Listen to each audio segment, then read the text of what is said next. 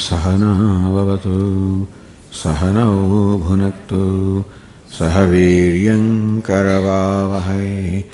तेजस्विनावधीतमस्तु मा विद्विषावहै। ॐ शान्तिः शान्तिः शान्तिः।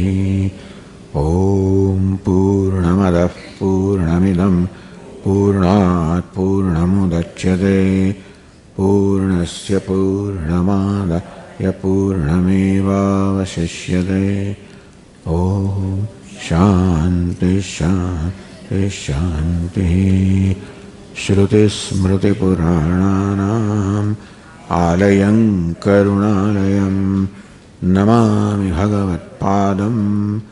शङ्करं लोकशङ्करम् शङ्करं शङ्कराचार्यं केशवं बादरायणं सूत्रभाष्यकृतौ वंदे भगवन्तौ पुनः पुनः।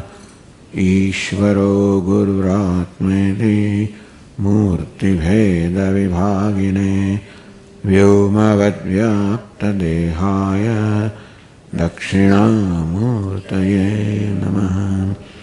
सदाशिवसमारम्भां शङ्कराचार्यमध्यमाम् अस्मदाचार्यपर्यन्तां वंदे गुरुपरम्परां गुकारस्त्वन्धकारो वै ऋकारस्तन्निवर्तकः अन्धकारनिरोधित्वात् गुरुरित्यभिधीयते recite the first verse.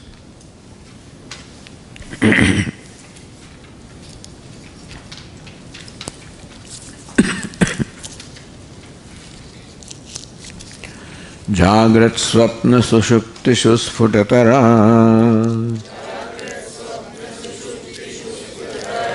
या संविदुजृंभते या ब्रह्मादिपिपीलिकान्ततनुषो। या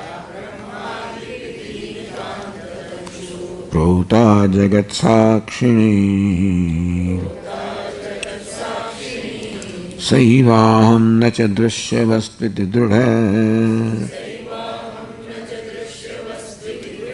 प्रज्ञापि यस्यास्ति चेत्।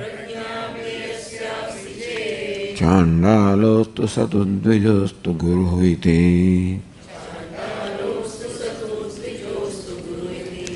एषा मनीषा मम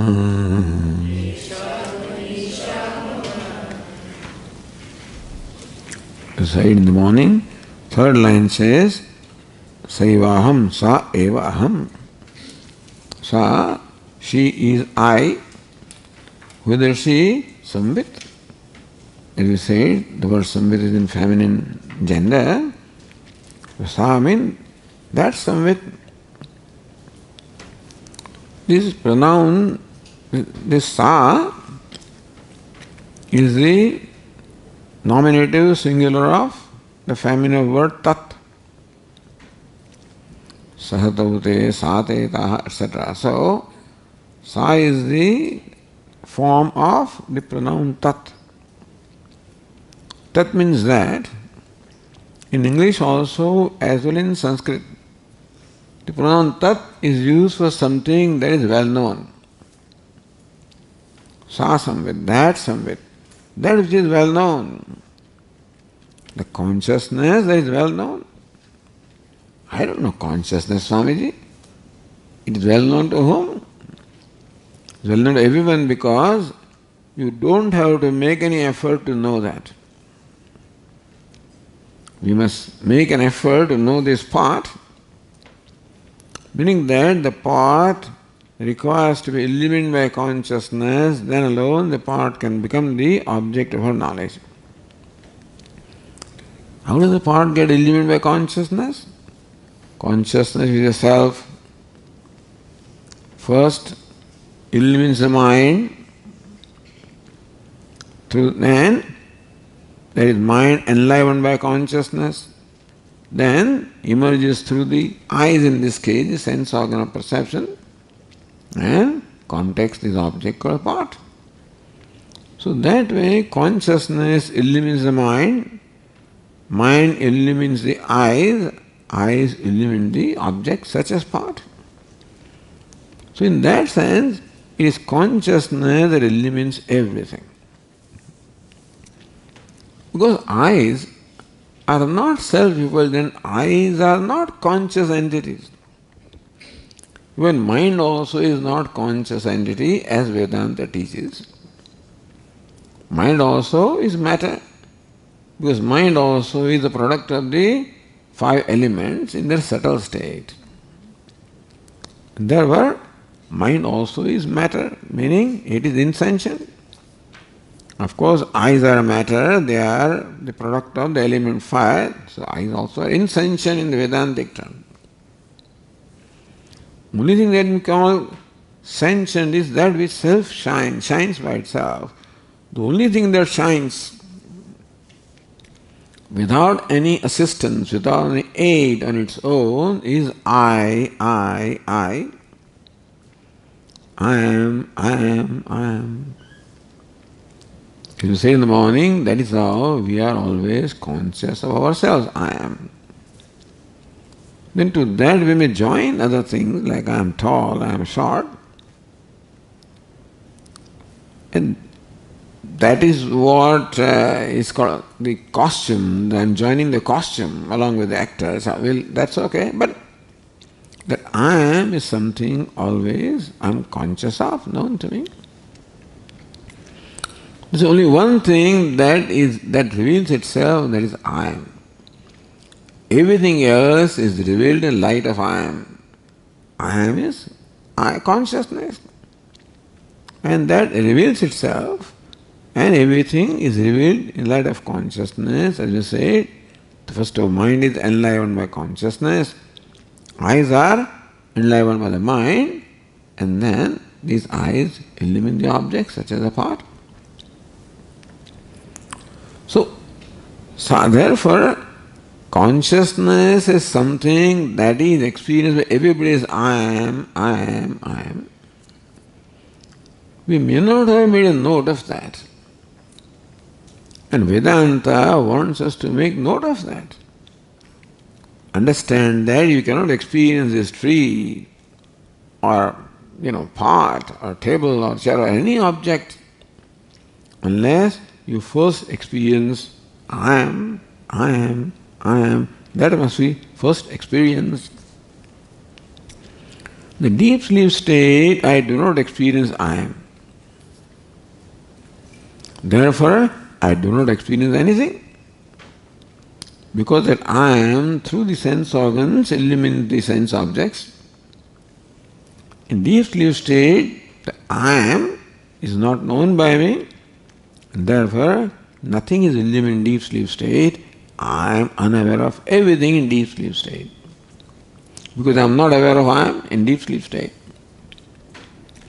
This is just told to say how that I am, which is consciousness, is self effulgent therefore, whether we want it or not, we always experience it. So, sa samvit, that samvit that consciousness that reveals itself as I am, I am, I am in the heart of all the living beings, Saivam, that alone I am. The consciousness alone I am, that alone, so alone means exclude something. That alone I am, that means that what is other than that I am not.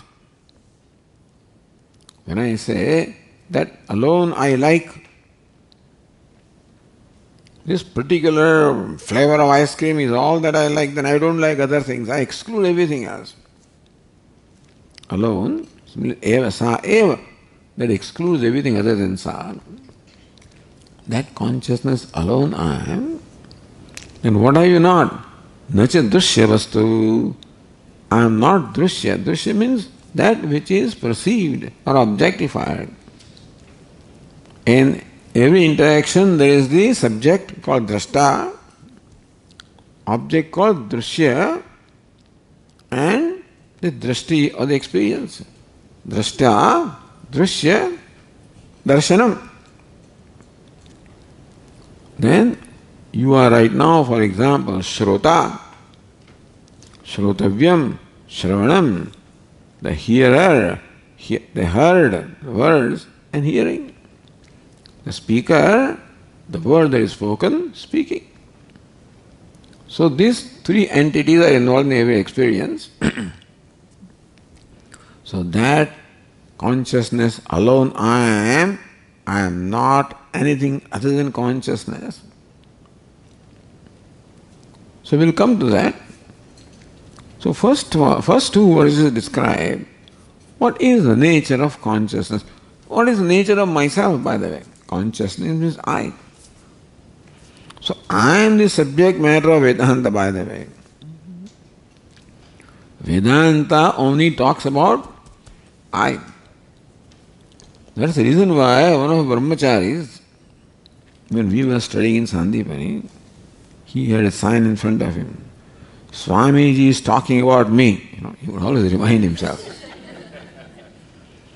I do not think that when Swami talks of Brahman, that's someplace else. You think Brahman means someplace else. It's not. Whatever words Swamiji uses, whether it is Brahman, it is self, consciousness, in Sanskrit so many words are used. Samvit is one word. Bodha, chit or chiti. So many words I use to denote consciousness. But that is I. So, Vedanta only basically talks about, it may talk about many other things, we'll come back to I. Because I is the most important entity in my life, and that I is the cause of all my unhappiness, which I the I that is wrongly perceived is the cause of all my unhappiness. That very same I, when rightly perceived, becomes the cause of my happiness. When I see myself as contrary to what I am, meaning that whenever I see myself as a limited being, which is quite contrary to my nature, because I am limitless by nature, as these verses tell us. Whenever I see myself as a limited being, I become unha- I become unhappy. I become dissatisfied with myself. I don't like myself. I do not like a limited self. Therefore, whenever I find myself in my perception, it may be wrong perception. But in my perception, if my conclusion is I am a limited being, I become unhappy meaning that I do not require anything other than this conclusion that I am limited. That's all I need to be unhappy. So if you somehow make me feel, you know, limited, dependent, helpless, makes me unhappy. When I see that I'm all right, so whenever I'm all right in my perception, I'm happy. When I'm not all right in my perception, I mean, as simple as that. Thank you, Swami. From now I say that I'm all right. But you may say that, but you must find it, you know. By saying that I'm all right, I do not become all right. By seeing that I'm all right, I become all right. First you say, and then see. So, thus this I, the Samvit is Sa, that Samvit which is most famous, which is known to everybody as very self, because it is self shining, I have no option other than to experience Samvit. So that Samvit is described in the first first line says, Jagra swapna sushuptishu sfutatara ya samvid ujrumbhate. Again, ya samvid, that samvid that very famous Samvit, that famous consciousness. Even if we do not know, people who know the scriptures, they know very well, so it's well known among them, if it is not among us. Ujrumbhate, Ujrumbade means what? That which suprakashate, which manifests. The samvid or the consciousness that manifests. Where does it manifest? जागृत स्वप्न सुषुप्तिशु जागृत waking swapna dream sushupti deep sleep so Vedanta teach is that every day we go through this three states three states of consciousness three states of mind waking dream and deep sleep Right now, most of us are in what state? Waking state. So, waking is described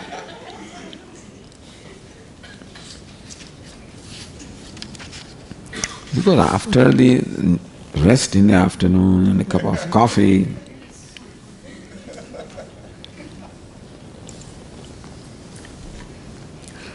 आदित्यादि अनुगृहीत चक्षुरादि इंद्रिय Sabdadi sthula vishayana upalabdhi. So what is waking? This is waking state.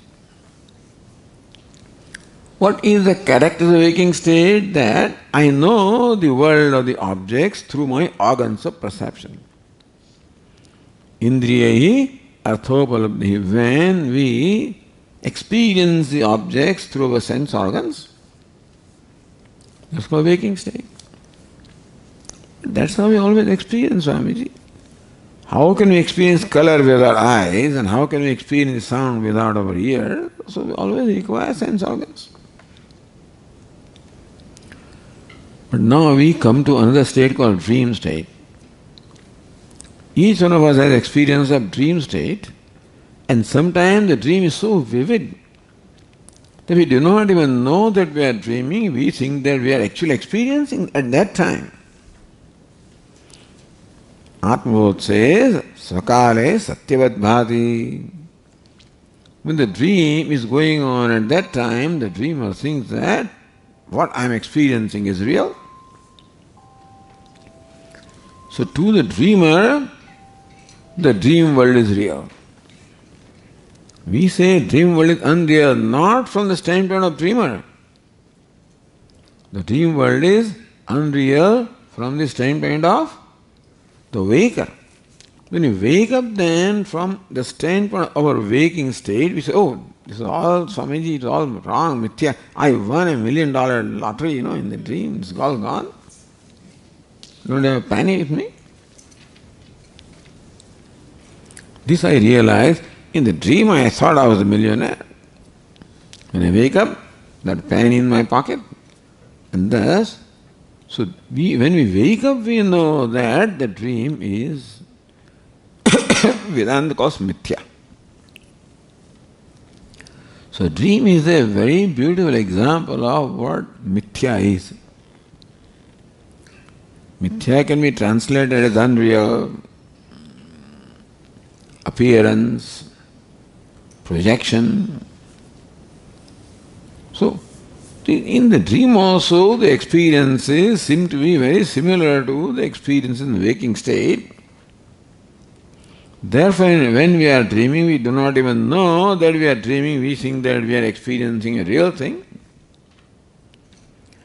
The whole dream world is projected by my mind.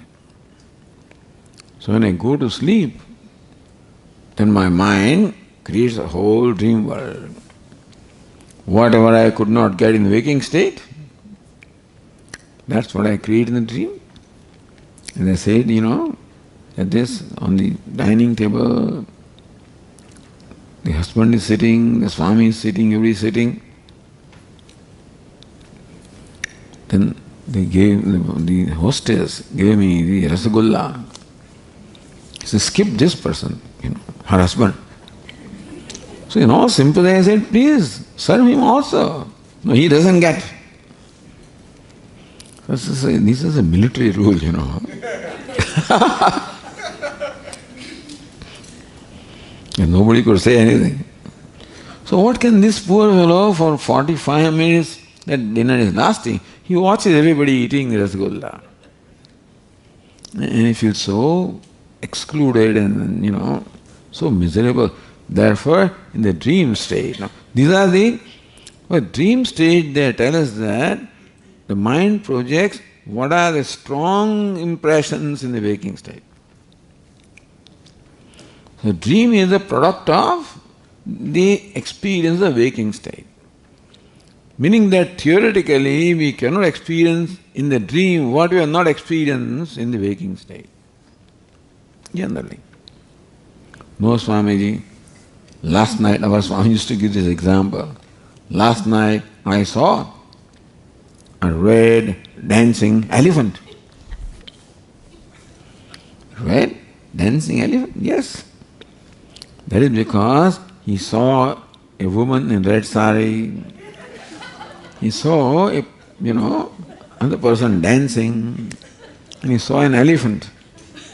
So therefore in a dream he combines all of them and sees a red dancing elephant.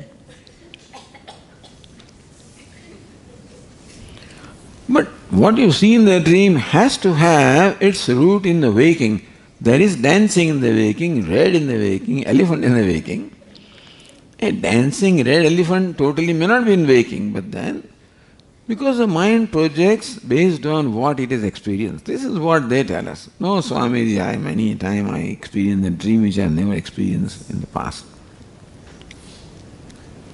Then we may have to say that maybe you experienced that in your previous birth. This is an excellent, I mean, you know, we have answer to this previous birth provides answer to many things, you know. And karma provides rest of the answers, you know. So what can you say? Because mind requires a basis for imagination. And that basis is experience in the waking state.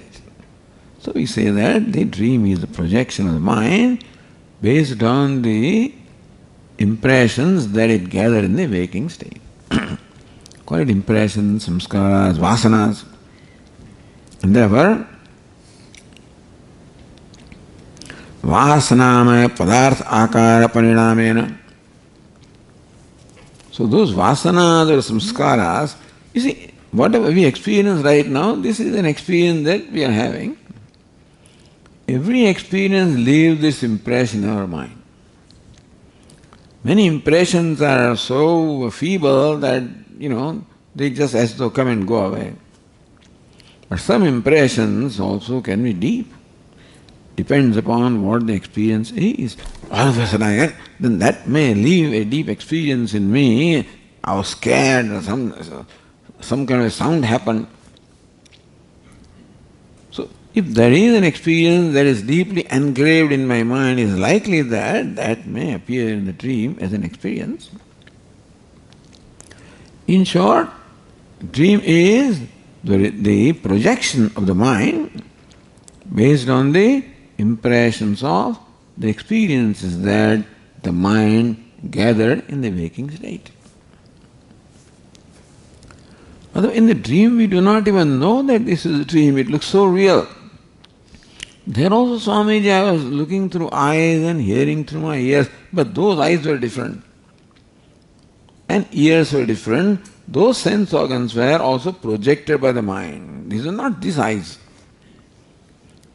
Because that is called sleep when we withdraw our identification from this body. Vedanta teaches that our personality consists of three kinds of bodies. What you perceive through sense organs is a gross body. Then there is what they call a subtle body, which is responsible for imparting the life to the gross body. This is otherwise a lifeless entity. The gross body by itself is a lifeless entity. There is a subtle body inside and that is what imparts the life to the gross body.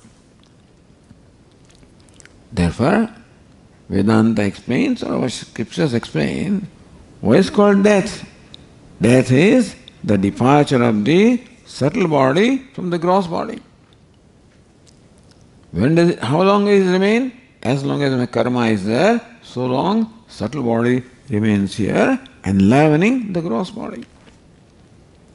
That karma, prarabdha karma is over, then this subtle body departs to another destination. At that time, now there is nothing to impart sentience in his body, therefore, the gross body becomes lifeless.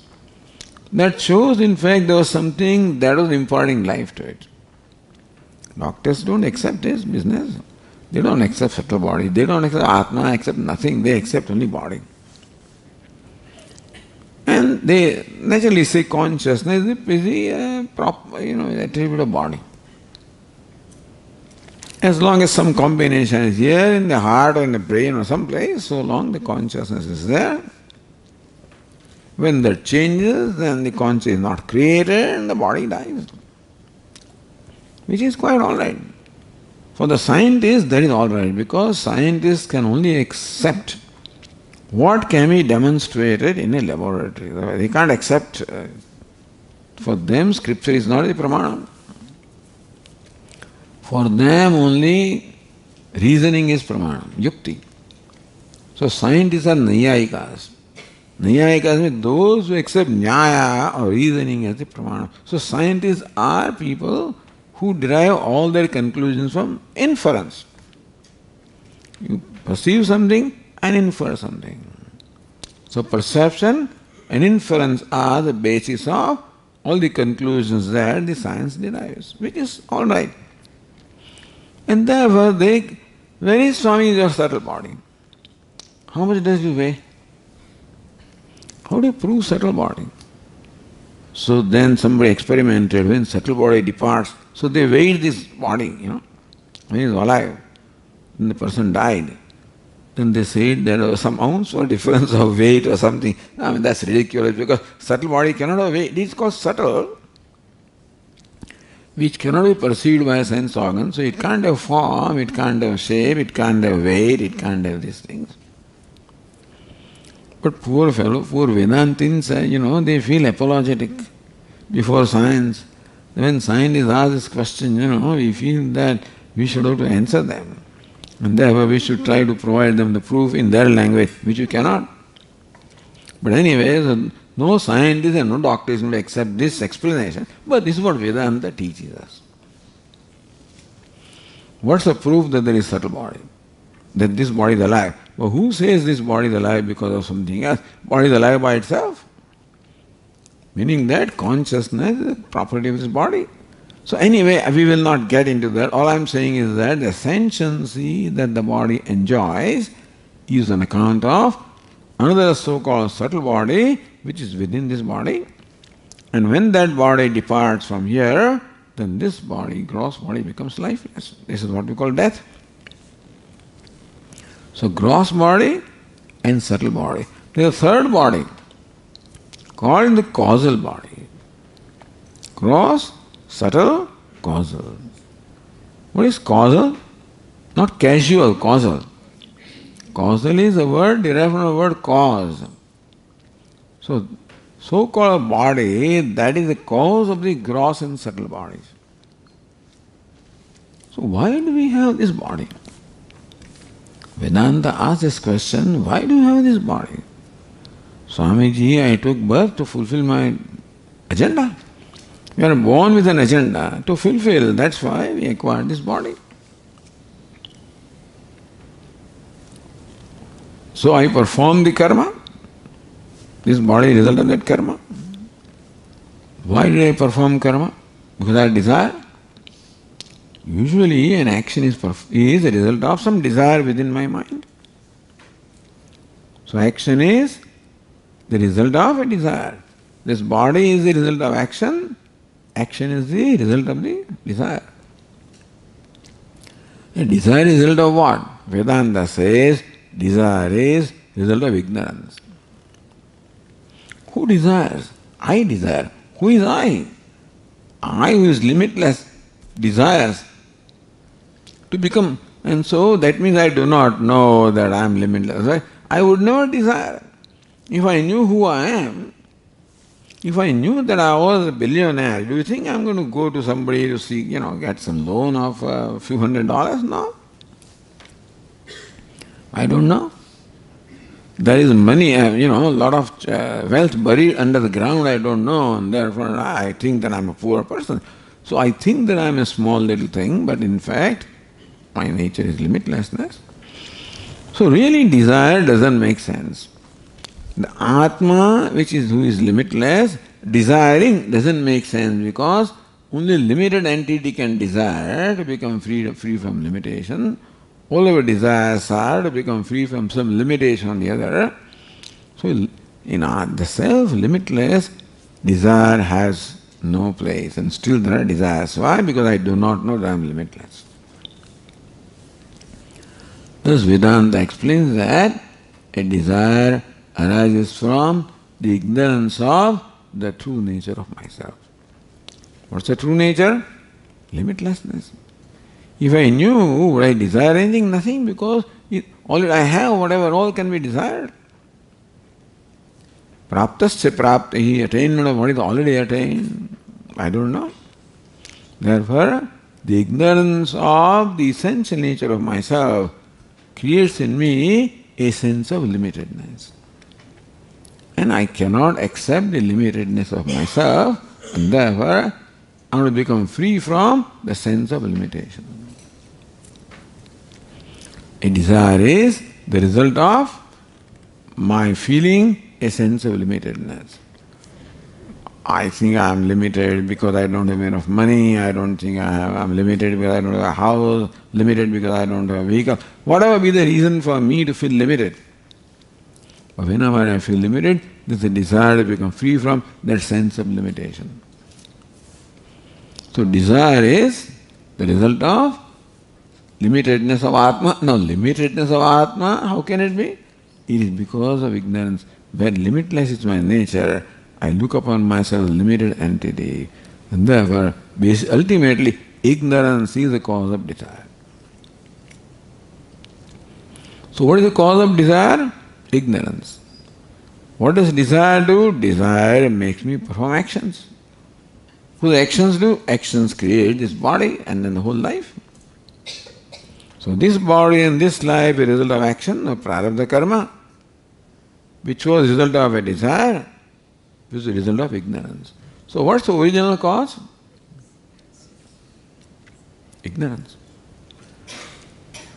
Uh, the Upanishad describe, when, the, when Upanishad describe the process of creation, it says, so kamayata, Ishvara desired. So before commencing the creation, Bhagavan desired. Bhagavan and desire, what is this? Ishvara desire. Can Ishvara, Ishvara is limitless. How can it desire? Limitless desires because the limitless does not know that is limitless. So Kamayata, he, he you know, he sort of accepted for himself this kind of desire and then created the world. But therefore Vedanta teaches that the cause of everything is ignorance. Immediate cause of anything is karma.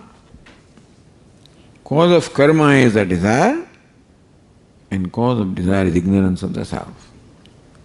Therefore, the original cause is self ignorance. So that's called causal body. Self ignorance is called cause. It is not a body, but they call it body, causal body. From that is created, now, because I, I feel I am limited, I must become free from limitation, that I can that can happen only when I, I fulfill my desire that can happen only when I perform an action. To perform an action, I require a body. For desiring, I require a mind.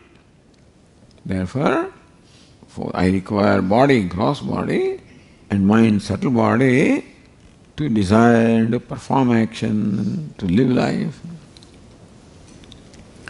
So this is how the gross and subtle bodies are said to be the cause of desire, which in turn is the cause of the, of which ignorance is the cause. So therefore ignorance is the primary cause. It's called causal body, which create which brings about desire, it brings about a need of subtle body, and gross body. So that it's called causal body because it's the cause of subtle and gross bodies. So we have three bodies. Gross body, within that is subtle body that enlivens the gross body, and that is cause of both gross and subtle bodies is the ignorance which is called the causal body. Those are primary lessons of Tattva Bodha. So our personality is explained as consisting of three bodies, gross body, within which there is subtle body, and causal body is not a body, but it's ignorance.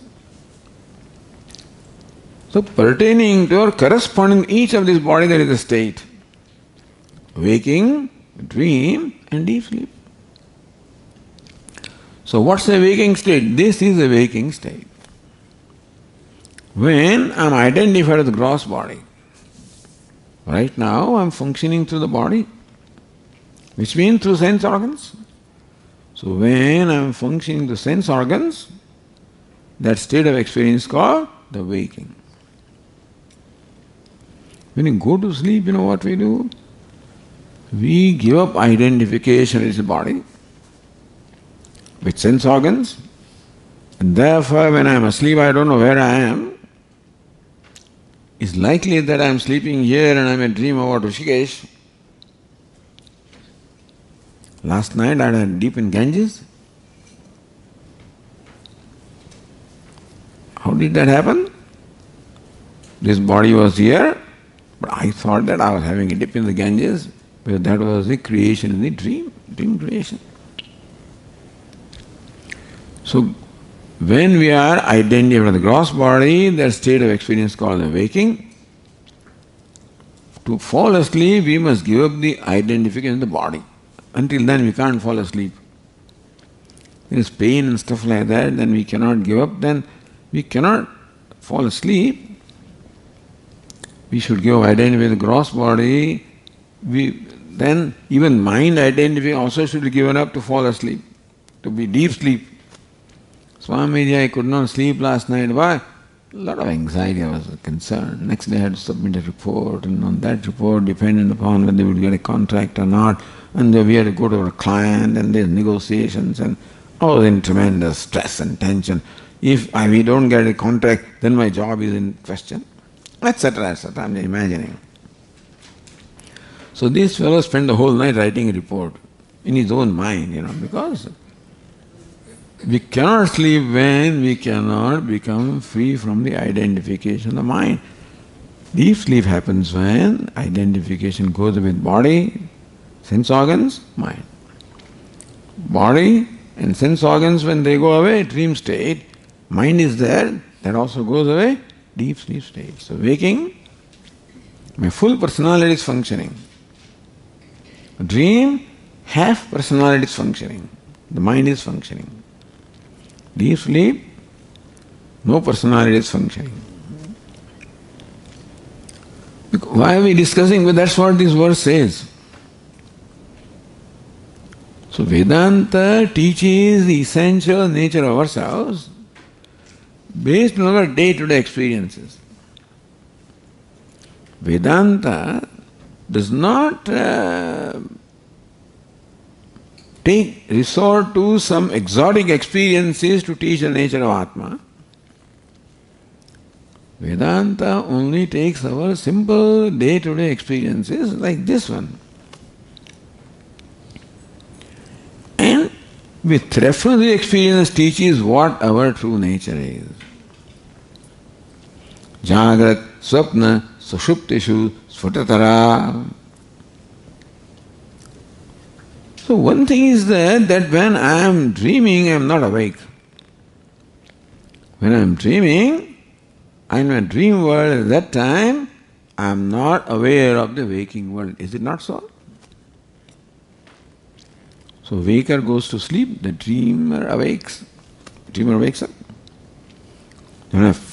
Fast asleep, dreamless sleep, that time the dream also is not there.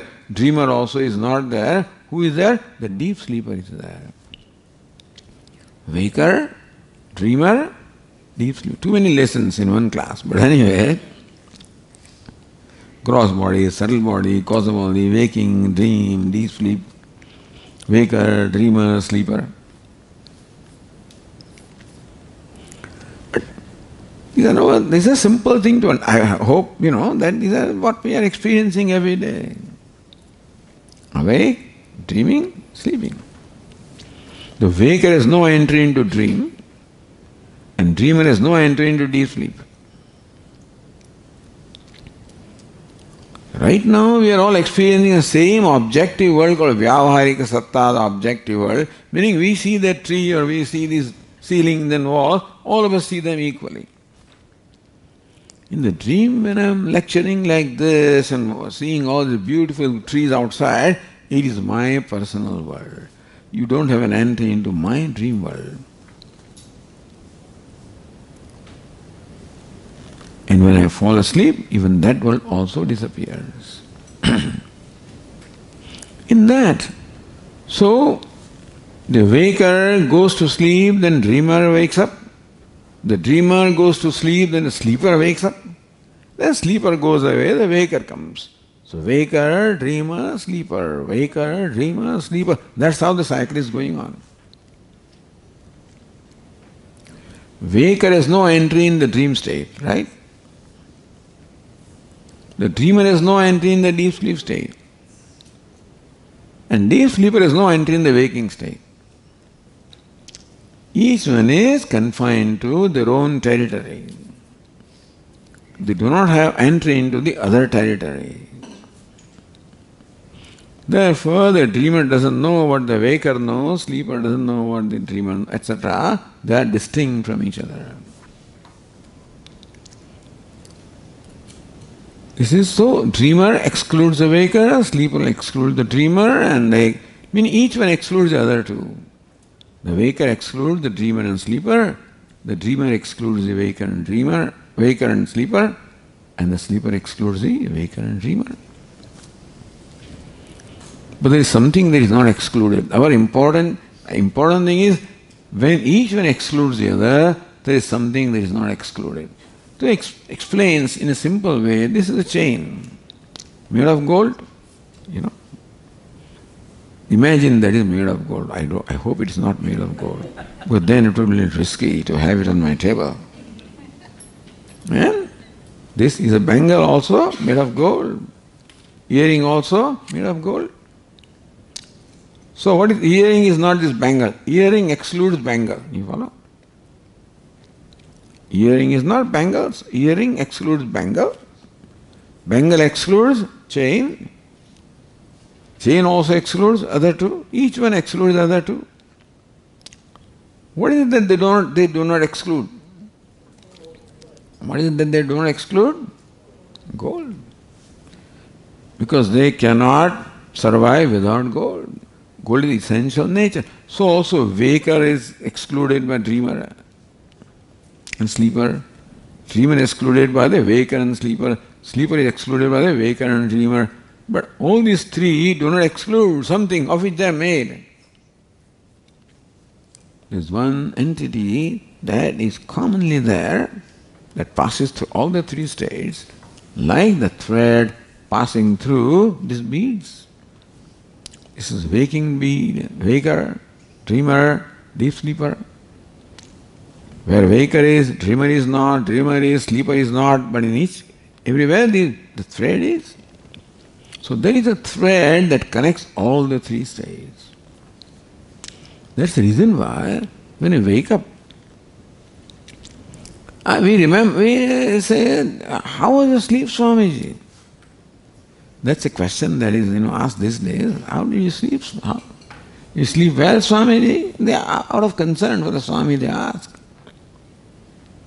I slept well, like a log. I did not know anything. I slept like a log, did not know anything. But Swamiji, last night there was a lot of commotion. Do you know that a fire truck came?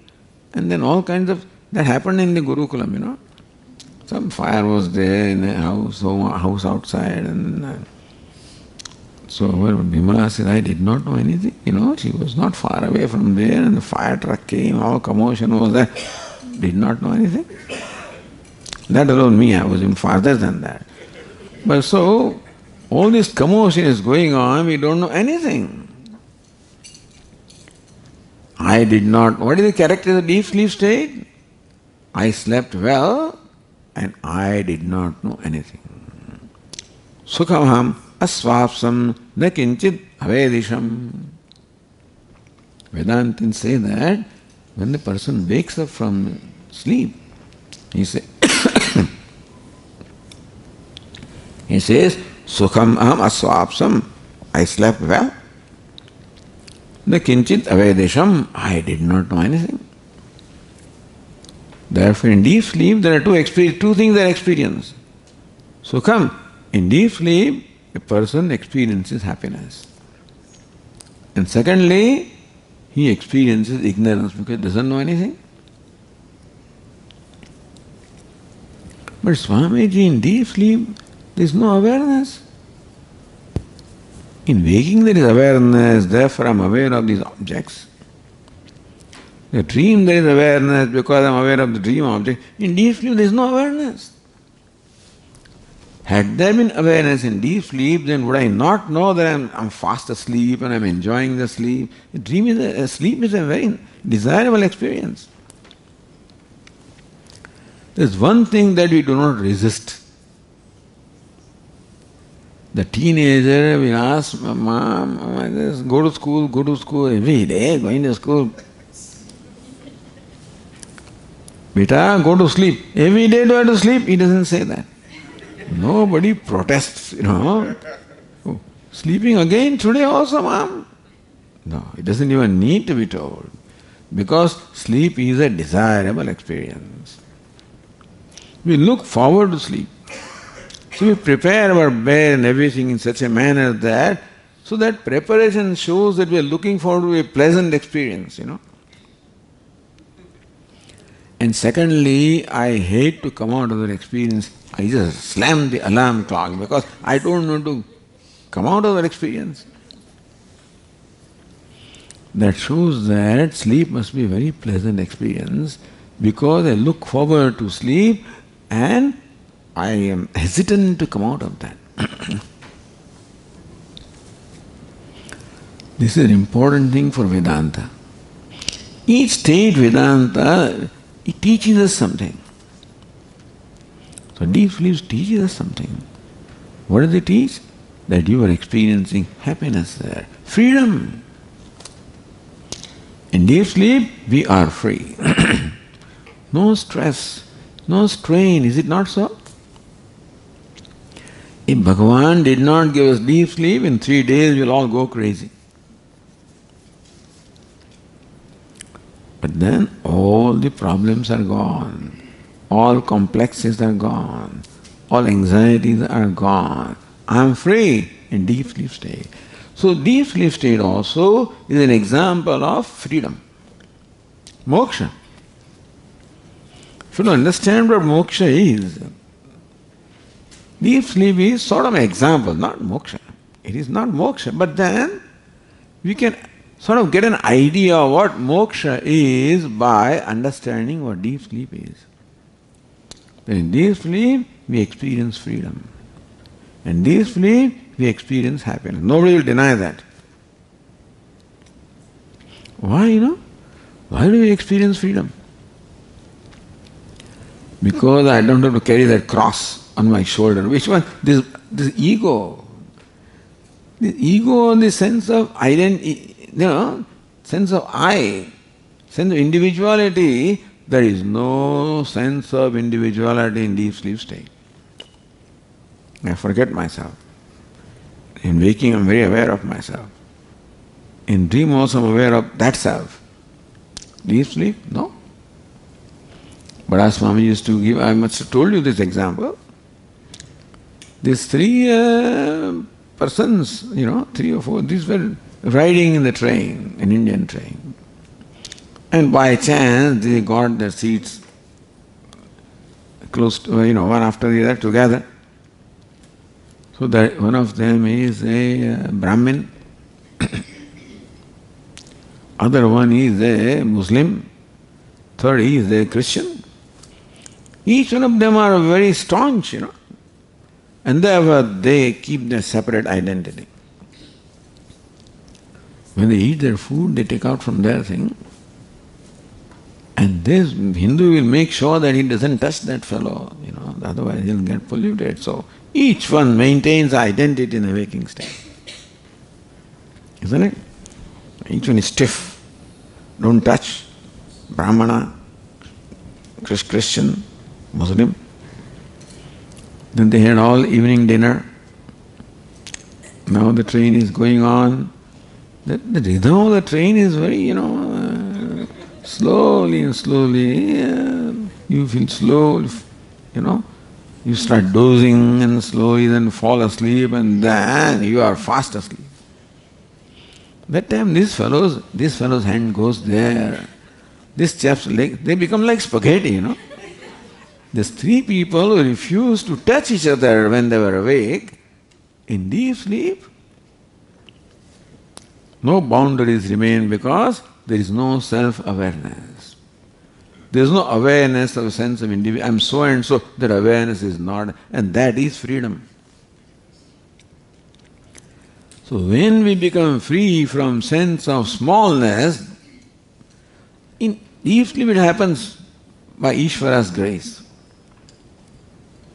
And we have to awarefully do that. In the waking state, we must awarefully sleep. Awarefully sleep means what? Sleep means that I am not aware of anything. But awarefully sleep means I am aware of myself and nothing else. So therefore sleep is a good example of moksha because there we experience freedom, there we experience happiness. Unfortunately, we are not aware at that time, you know. Even deeply we were aware, oh, I'm experiencing this, that's it, then you don't need Vedanta. Then all we need is just go to sleep and we are all mukta. Even though we are free, we don't know, unfortunately, therefore it doesn't help us.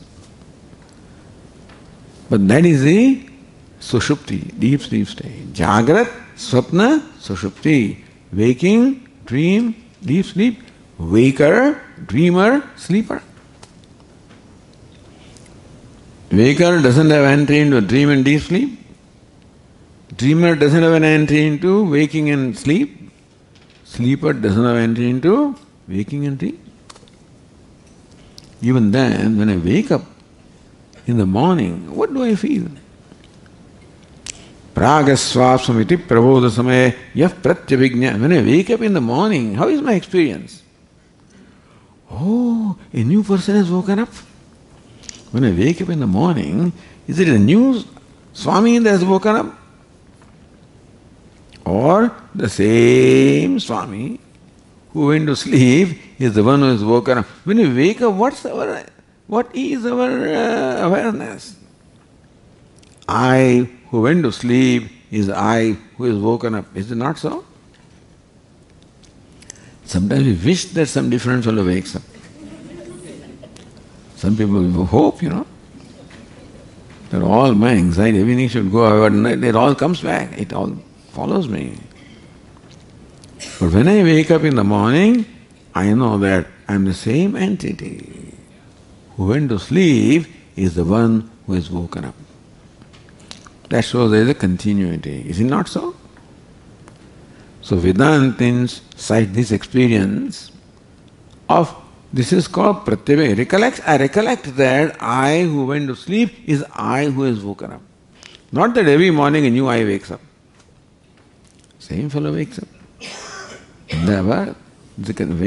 What I who was awake yesterday, I who was talking this morning is I who is talking in the evening, and tomorrow I'll say, I was talking last night is the one I'm talking today. Same I continues. When everything else changes, one thing does not change. So waking goes away, dream comes, dream goes away, sleep comes, sleep goes away, waking comes, waker goes away, dreamer comes, dreamer goes away, sleeper comes, sleeper goes away, waker comes. They all exclude each other like the ornaments, but they do not exclude the gold. And similarly also, the dreamer, sleeper, nobody excludes the one that is their core identity. And who is that? That that's that samvit. Jagrat swapna sushuptishu sphutatara ya samvid ujrumbhate. Ya samvid, that consciousness, ujrumbhate prakashate, which shines. In waking, it clearly shines in waking, dream and deep sleep state. Which is free from the limitation of waking, dream and deep sleep. That samvit I am. Saivaham. That samvit, that consciousness I am. Not this, I'm not confined to waker, dreamer, deep sleeper. I'm the one that is the most common denominator of the waking, dream and deep sleep. so this is how uh, one part of the verse is explained. Who am I? I'm the one that is the witness of the three states, waking, dream and deep sleep. One illumines the three states, that consciousness that illumines the waking, dream, deep sleep, that I am. Okay, then who you know, what you are not, that also will be told, we'll, we'll continue. ॐ पूर्णमदः पूर्णमिदं पूर्णात् पूर्णमुदच्यते। पूर्णस्य पूर्णमादाय पूर्णमेवावशिष्यते। ॐ शान्ति शान्ति शान्तिः। शङ्करं शङ्कराचार्यं केशवं बादरायणं सूत्रभाष्यकृतौ वंदे। भगवन्तौ पुनः पुनः ईश्वरो गुरुरात्मेति मूर्तिभेदविभागिने व्योमवद्व्याप्तदेहाय दक्षिणामूर्तये नमः। ॐ शान्ति शान्ति हरि ॐ श्रीगुरुभ्यो नमः। हरि ओम्।